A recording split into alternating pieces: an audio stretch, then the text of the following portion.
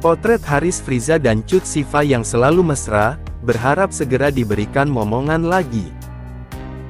Haris Friza dan Cut Sifa telah menjadi salah satu pasangan selebriti favorit tanah air. Baru-baru ini pasangan yang menikah pada tahun lalu itu merayakan dua tahun kebersamaan mereka sebagai suami istri. Sebuah kejutan mewah dan romantis pun disiapkan Haris Friza, di mana ia menghadirkan banyak bunga dengan warna favorit Cut Sifa yaitu ungu, putih dan pink.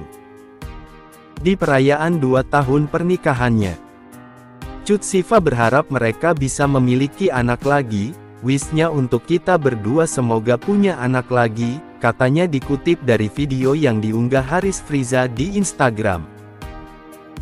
Dalam kesempatan tersebut Haris Friza juga mengucapkan doa yang serupa, berharap mereka bisa selalu bersama dan membesarkan anak-anak.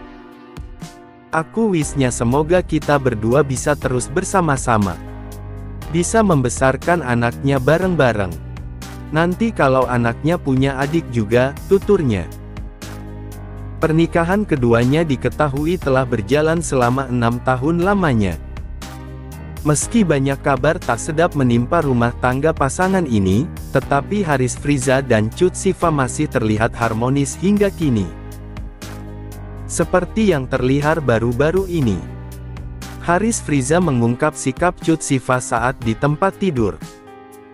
Alih-alih menunjukkan romantisme di hari pernikahan, Cut Sifa justru memprotes sikap Haris Friza saat di tempat tidur. Cut Sifa menceritakan banyaknya alasan Haris Friza ketika diajak mesra. Haris Friza mengatakan bahwa kasih sayang tak perlu dibicarakan terlalu banyak. Menurut Haris Friza sudah sepatutnya kasih sayang ditunjukkan dalam bentuk perilaku. Terkadang yang penting ketulusan hati, kata Haris Friza dikutip dari akun YouTube-nya. Haris Friza mengatakan bentuk kasih sayangnya adalah ketika membangunkan Cut Sifa. Selain itu menyuruh bekerja juga sebagai bentuk sayang Haris Friza ke Cut Sifa. Jadi itu sayang menurut kamu, kata Cut Sifa. Beda dengan Haris Friza, Cut Sifa menekankan bentuk kasih sayangnya pada suami dengan cara mesra. Aku kan suka sayang-sayang kamu, aku suka pelukin kamu, kata Cut Sifa. Bohong, aku juga suka pelukin kamu kan, kata Haris Friza. Cut Sifa menyebut Haris Friza selalu punya alasan ketika dipeluk olehnya. Gak, kamu tuh kalau mau dipeluk, Aduh aku kebelet pipis nih jangan deket-deket, kata Cut Sifa. Eh.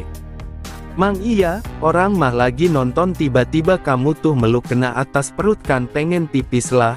Emang pas banget mau pipis, kalau kamu tidur aku pelukin kamu dari belakang, kata Haris Friza. Cut Sifa membantah pengakuan Haris Friza.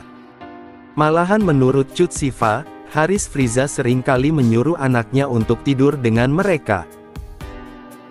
Gak, gak, tutur sang anak tuh udah tidur di bawah, sekarang tuh sengaja aku biar dia tuh suka gak mau tidur di bawah gitaro di tengah biar kita jauh-jauh, kata Cut Sifa.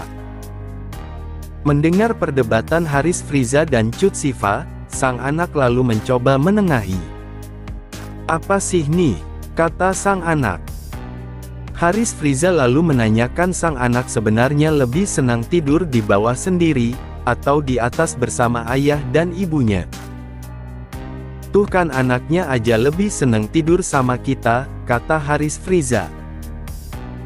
Kamu tuh berarti gak sayang sama anak kita, kamu tidak mengajarkan anaknya tidur sendiri, kata Cut Sifa. Udah gede juga tidur sendiri otomatis, timpal Haris Friza. Persoalan memeluk di tempat tidur rupanya berlanjut saat menjawab pertanyaan netizen yang lain. Haris Friza mengaku memang suka tidur dengan membelakangi Cut Sifa. Haris Friza mengatakan bahwa kasih sayang tak perlu dibicarakan terlalu banyak. Menurut Haris Friza sudah sepatutnya kasih sayang ditunjukkan dalam bentuk perilaku. Terkadang yang penting ketulusan hati, kata Haris Friza dikutip dari akun YouTube-nya. Haris Friza mengatakan bentuk kasih sayangnya adalah ketika membangunkan Cut Sifa.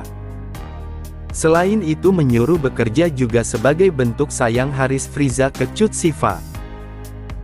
Jadi itu sayang menurut kamu, kata Cut Sifa.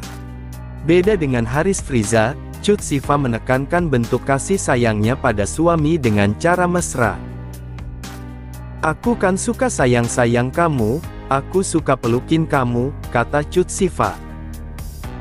Bohong, aku juga suka pelukin kamu kan, kata Haris Friza. Cut Sifa menyebut Haris Friza selalu punya alasan ketika dipeluk olehnya. Gak, kamu tuh kalau mau dipeluk, aduh aku kebelet pipis nih jangan deket-deket, kata Cut Sifa. Eh, Mang iya, orang mah lagi nonton tiba-tiba kamu tuh meluk kena atas perut kan pengen pipis lah. Emang pas banget mau pipis, kalau kamu tidur aku pelukin kamu dari belakang, kata Haris Friza. Cut Sifa membantah pengakuan Haris Friza. Malahan menurut Cut Sifa, Haris Friza sering kali menyuruh anaknya untuk tidur dengan mereka.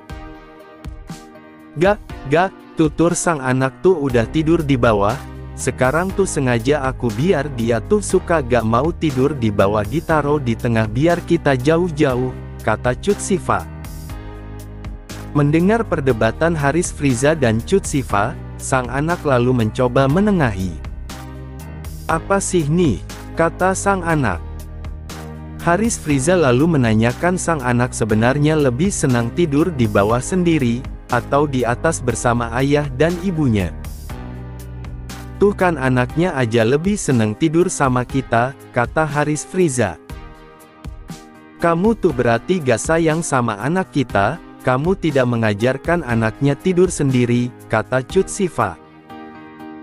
Udah gede juga tidur sendiri otomatis, timpal Haris Friza. Persoalan memeluk di tempat tidur rupanya berlanjut saat menjawab pertanyaan netizen yang lain. Haris Friza mengaku memang suka tidur dengan membelakangi Cut Sifa.